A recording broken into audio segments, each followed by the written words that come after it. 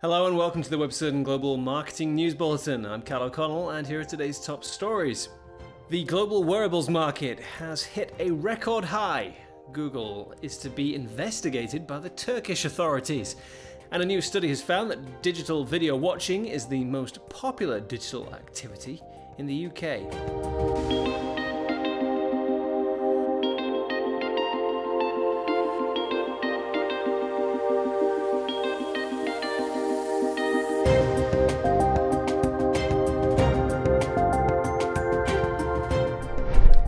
A new report has revealed that the global wearables market is currently worth more than ever before. Data from the worldwide quarterly wearable device tracker from the IDC states that in Q4 2016, the market saw 33.9 million wearable units shipped around the world. There was also a 25% growth in the market over the course of 2016, with a total of 102 million wearable devices sold a senior research analyst for IDC, said that the increase was partly due to changes in the market, which meant that manufacturers had the opportunity to sell multiple wearables to a single consumer under the guise of fashion. The report also said that outside of the more successful wrist worn devices, ear worn and intelligent clothing made up 1% of the market each and are expected to grow in 2017. Google has come under pressure from the Turkish government after Turkey's competition board announced that it would be investigating the search engine. In a statement, the board said that it would be investigating whether Google had violated Turkish competition laws. The board will be looking into contracts that Google has signed with equipment producers, its applications, and mobile services. The opening of an investigation follows a second evaluation into claims made against Google after the first evaluation concluded that an investigation would not take place as it was not necessary.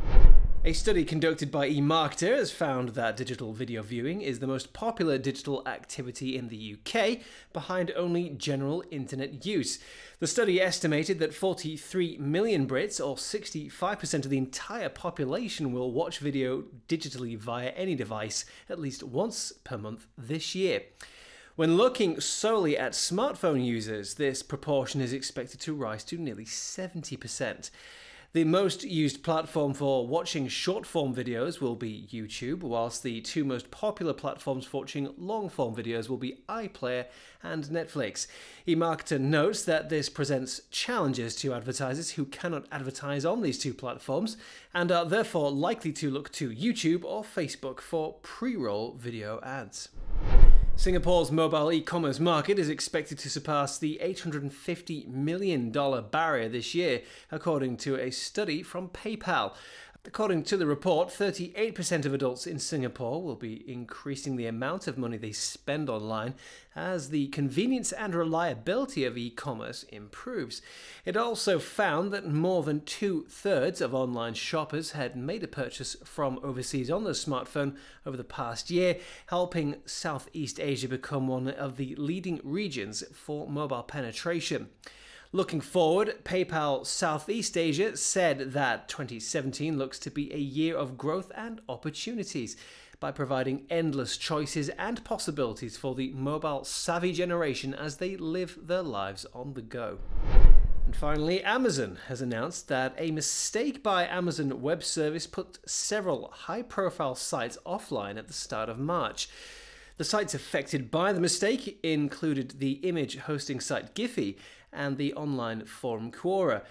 Amazon explained that during a routine debugging of the Amazon Web Services billing system, one of the inputs to the command was entered incorrectly and a larger set of servers was removed than intended.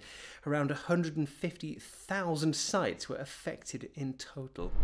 And that's it from me today. Thank you for joining us, and be sure to check out our Catch Up TV service to access our full database of in depth interviews with global digital marketing professionals, news, how to videos, and more. See you next time.